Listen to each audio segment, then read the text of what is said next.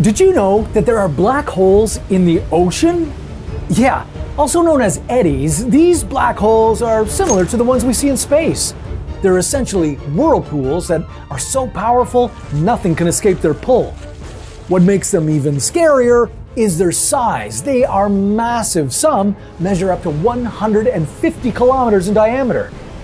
They're created through a mix of water at different temperatures, wind, and the Earth's rotation, and once they're created, they can last for months or years.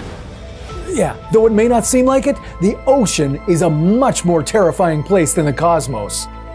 From hideous, alien like creatures to the mysteries that lie below the sea, these are just some of the reasons why the ocean is scarier than space. We've yet to discover alien life, but looking at some of these creatures, you might think otherwise. Unlike our solar system, the ocean is full of terrifying wildlife, from creatures as simple as sharks and killer whales to the more disturbing looking red octopuses and proboscis worms. Regardless of their appearance, many of them are dangerous and won't be afraid to pick a fight. Earth's ocean might be more mysterious than parts of space. Uh, for one, we don't really know what the bottom of our oceans are like, and we might just know more about the surface of Mars and the Moon, but NASA is looking to change that. They're slowly mapping out the ocean floor. This might give us clues about what oceans are like on other planets. It also helps NASA test gear that will be used in space missions. Outer space and our ocean are more similar than we think. Both have high pressures, a lack of breathable air, and extreme temperatures. But what makes the ocean scarier? It's teeming with life that can attack and kill you. Yeah, space is passively trying to kill you, while the ocean is actively trying to kill you.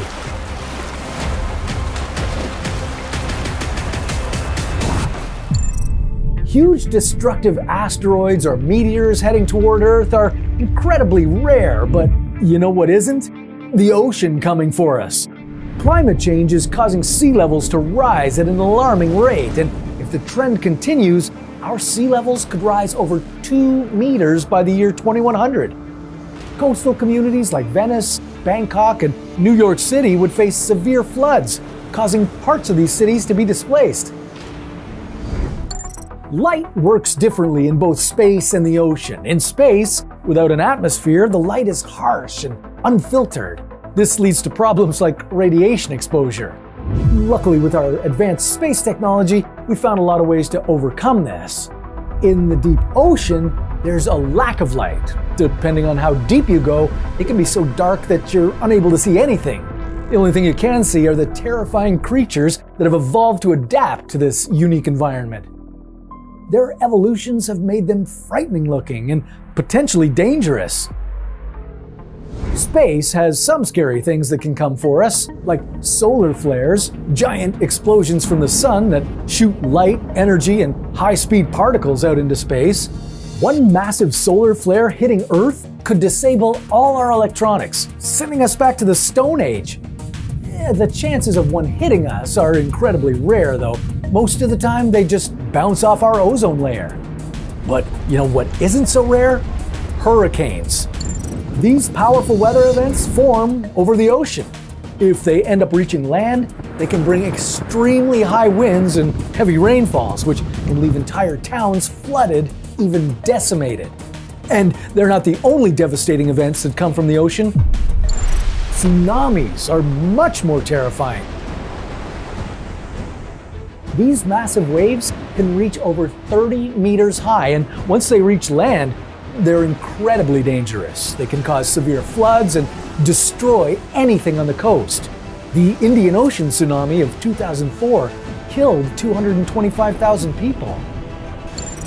No one's ever gotten lost in space. With an entire support team watching over you using billions of dollars worth of technology and GPS systems, you can rest easy knowing you're in good hands. But in the ocean, people get lost all the time.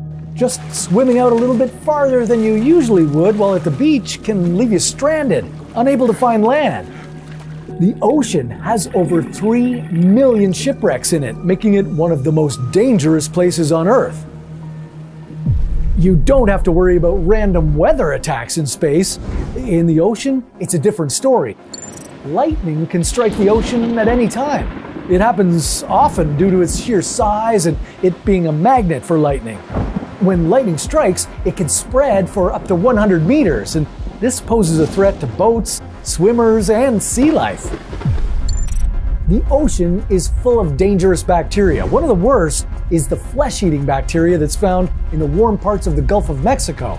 The bacteria can get into swimmers' open wounds and cause ulcers on the skin. Antibiotics should be able to solve this issue, but it can sometimes get so bad you need to amputate a limb. Yeah, space doesn't have anything as scary as that. Up in space, there's a ton of debris known as space junk, and while there's some concern about the debris making space travel dangerous, it's not nearly as concerning as all the garbage we have swimming around in the ocean. In the North Pacific Ocean, there's a massive island of waste known as the Great Pacific Garbage Patch. It's made up of mostly plastics, making it almost impossible to break down. As a result, it's harming ocean wildlife and could destroy entire ecosystems. Up in space, the debris is monitored closely by space agencies. They're constantly looking at ways to mitigate the issue, but down in the ocean, the problem keeps getting worse, and it'll take a long time before it gets any better. So, although the vast unknowns of space are pretty terrifying, they don't come anywhere near to how scary our oceans can be. You know what else is terrifying? Spending five seconds on Venus. What mysteries does this planet hold? Well, that's a story for another What If.